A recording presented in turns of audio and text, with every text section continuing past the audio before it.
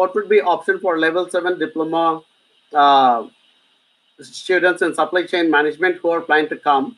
What would be the option for us if we want to stay back in country after completing two years? The best option to stay back in the country is to find a job and be able to get to that salary thresholds as I keep talking about.